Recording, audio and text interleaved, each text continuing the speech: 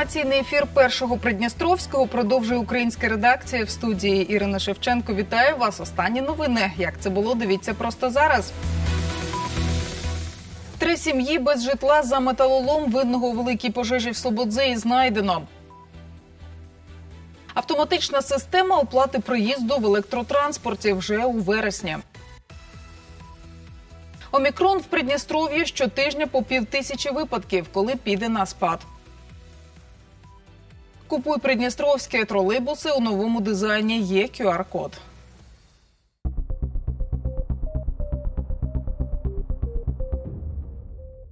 Співробітники МВС встановили винного у масштабній пожежі, яка сталася 31 серпня у Слободзеї. Нагадаємо, полум'я, що виникло на несанкціоновому звалищі, буквально за 7 хвилин дісталося житлових будинків. Тоді був сильний вітер. Вогнем було знищено три будинки, господарські будівлі, 13 вуликів із бджолами. Загинули десятки домашніх тварин. Три сім'ї залишилися без житла. В ході В ході з'ясовування обставин пожежі був виявлений громадянин, який в усьому зізнався про те, що на території несанкціонованого звалища спалював диван для отримання чорного металу і здачі його в пункти прийому. Це і є причина пожежі, кажуть правоохоронці. Чоловік у всьому зізнався. Наразі з ним розбирається міліція.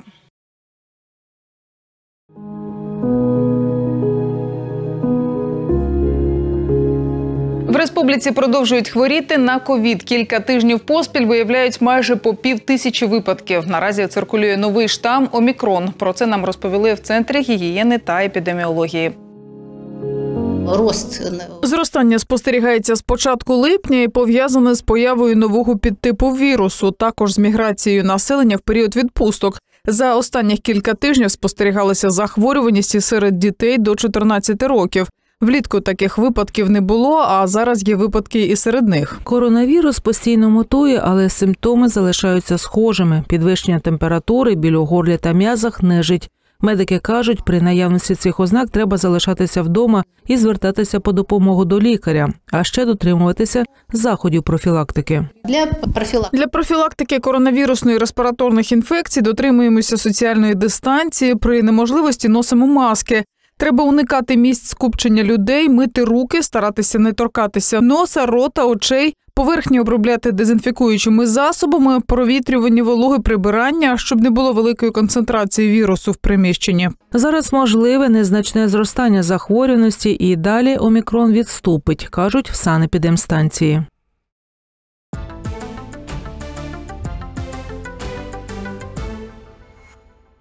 До кінця вересня в республіці з'явиться автоматична система оплати проїзду. Це пілотний проєкт в електротранспорті Тирасполя та Бендер. Для адаптації громадян паралельно збережуть готівку за проїзд, але ненадовго.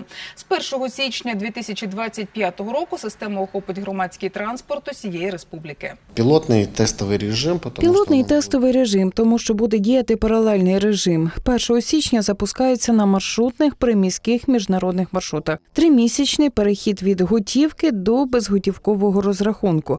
А вже після цього з 1 квітня буде лише безготівкова оплата. Щоб нею скористатися, потрібна банківська картка одного з трьох банків, підключених до системи Клєвір. Ця технологія дозволить провести цифровізацію в транспортній сфері, перейти до безготівкової форми оплати, уникнути приховування виручки, підвищити збирання податків у транспортній сфері. Можна також буде скористатися і мобільним додатком. Мобільне приложення планується до кінця. Мобільний додаток планують запустити до кінця року. Він дозволить пасажирам побачити на схемі руху цього мобільного додатку, як рухається транспорт маршрутом і відповідно в який час буде на зупинці. І пасажир зможе вийти і скористатися послугою того чи іншого автобуса. Пільгові категорії збережуться. Банківську картку ці пасажири використовуватимуть для обліку поїздки без списання коштів. Школярі та студенти продовжать оплачувати 50% вартості проїзду. Наразі в тролейбусних управліннях Терасполя та Бендер вже приступили до монтажу валідаторів. Після цього підключать програмне забезпечення.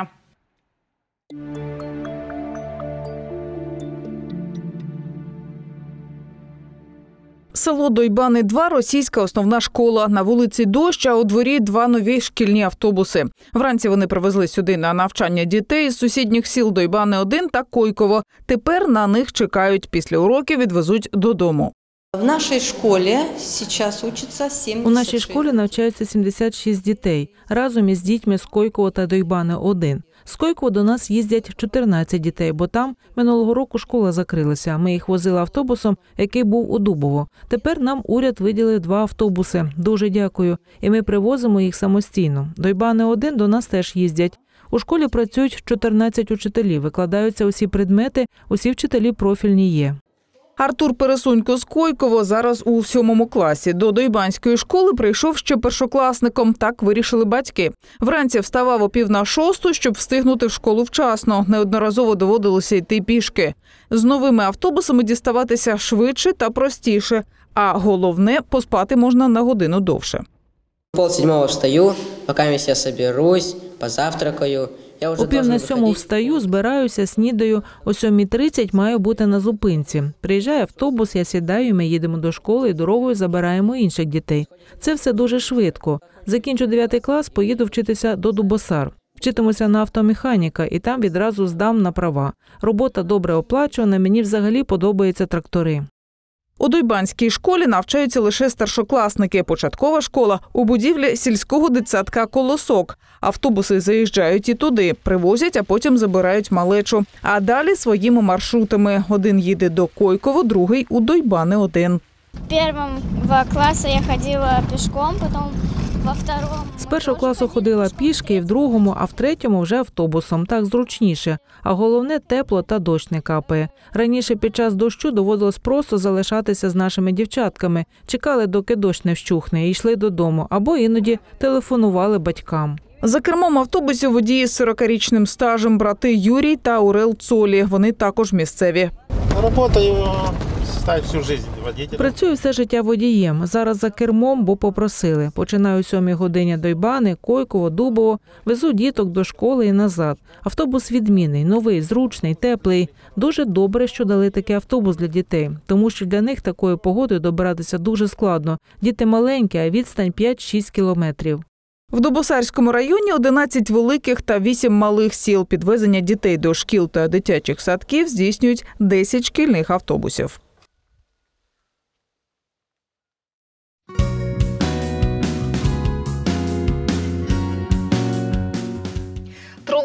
Дизайном Купуй Придністровське їздить по столиці вже два тижні. Увагу привертають молочка, ковбаси, мед. Вся продукція від наших виробників. Ще для підприємців QR-код можна сканувати та зареєструватися на сайті, щоб брати участь у ярмарках проєкту. Подробиці далі. Олеся працює у тролейбусному управлінні вже 15 років. Два тижні веде тролейбус із новим дизайном. Купуй Придністровське. Каже, що нова картинка подобається не лише їй, а й пасажирам. А сама Олеся купує лише наше. Це також її слова. Натуральная продукция. Все-таки. Натуральна продукція, все-таки наша придністровська, не покупна, не привізна, молоко, сир, сметана. На тролейбусі зобразили не лише продукти, але й QR-коди. Це зручно. Можна відсканувати та дізнатися більше про проєкт. Ну і головне, самі підприємці можуть зареєструватися на сайті і взяти участь у ярмарках Купуй Придністровське.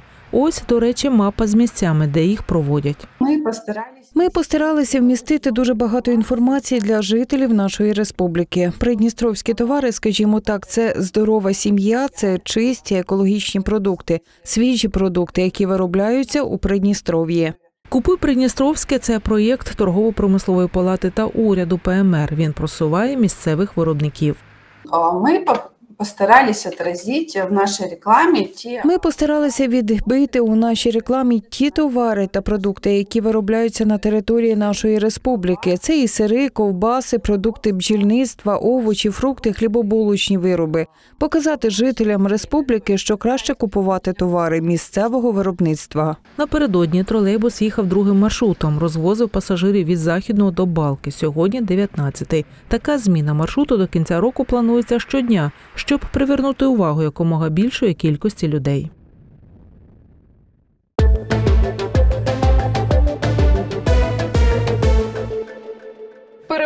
На драконах 4 та 5 жовтня у Бендерах пройде регата. Брати участь можуть співробітники підприємств, відомств, управлінь та спортсмени-аматори. Обов'язкові умови, допуск лікаря та вміння плавати. Ще важливий момент у човні має бути не менше чотирьох дівчат. Ось адреса електронної пошти, за якою можна надіслати заявку. Попередні приймають до 13 вересня, іменні до 27 вересня.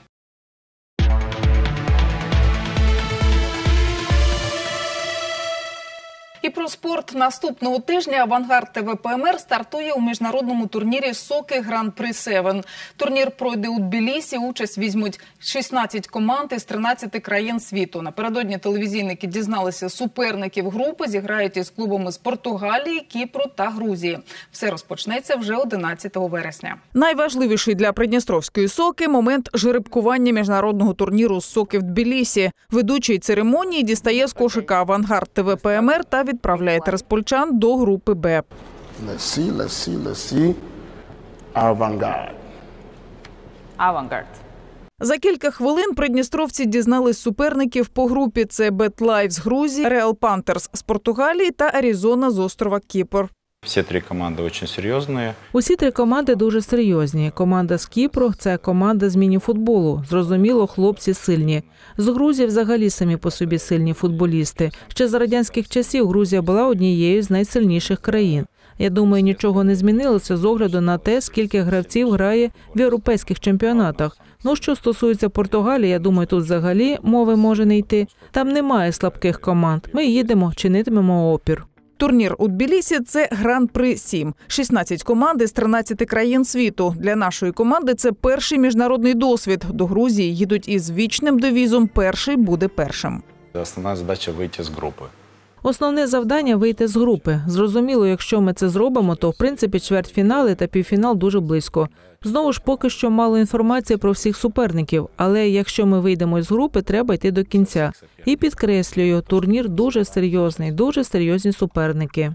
Гран-при в Тбілісі стартує 11 вересня. Поки що авангард б'ється за кубок Амоліги. Домашній турнір проходить у самому серці Тирасполя, Катеринінському парку. У справі вісім команд. Сьогодні останній тур групового етапу. Поки що місце у півфіналі собі гарантував лише флорештський Леєпураж. Решта мають позмагатися, у тому числі і авангард, лідер своєї групи. Але все вирішиться у матчі з ТМК.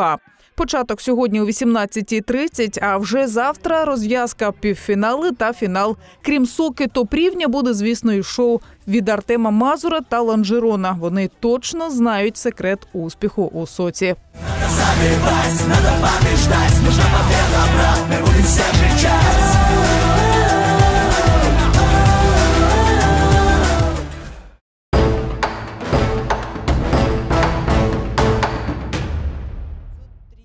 Коротне Слободзейський район. У крилі місцевої школи музей історії села, один з найбільших у районі. Сьогодні це тисячі експонатів, п'ять виставкових залів. У серпні музею виповнилося 45 років. Довгий час перебував у підвалі школи. З 2019-го фотографії та експонати переїхали до окремого приміщення. Так виник музей історії села. Ось ще факт: трохи більше 200 років тому тут був цвинтар. Щоб увічнити цей історичний факт, на ганку встановили пам'ятний знак. Стадіон школи і школа. Стадіон, школи та школа збудовані на цвинтарі. Тут були поховані перші люди, які оселилися в Коротному. Якщо село з 1769 року, а цвинтар діяв до 1935 року. Тут поховані перші мешканці села з прізвищами Васильєв, Бабак, Білокури, Карпове. Нехай люди знають, що тут поховані їхні батьки. Кожен зал унікальний. Музей створювався по крихтах. Усі ці експонати принесли мешканці, і щодня колекція поповнюється. Вот смотрите, даже сегодня принесли, от смотрите, сколько там. Навіть сьогодні принесли, і це все треба реставрувати, помити, почистити. Звичайно, вони стануть у нагоді в наших експозиціях. Обов'язково ми вивчаємо історію експонатів. Окрема стіна про встановлення Придністров'я, але предметів цього періоду у музеї не так багато. Якби я в молоді роки могла знати, що працюватиму завідувачкою музею, я б інакше вела б роботу, тому що наша республіка розбудовувалася у мене на очах. Багато знала, але не збирала матеріали, бо не потрібно тоді було. А зараз вони такі необхідні, я їх не маю. Ось дивлюсь в інтернеті, питаю в інших, але все одно знаходжу і розповідаю дітям про нашу республіку, становлення людей, які боролися за неї. У жовтні селу Коротне виповниться 205 років. Музей готується. Будуть нові виставки, експозиції та інтерактиви. Такі маємо новини на сьогодні. Більше шукайте на сайті нашого телеканалу і в усіх соціальних мережах та мобільних додатках. А як це буде далі? Ми розповідатимемо вам вже завтра. Зустріч о 17.30 на першому Придністровському.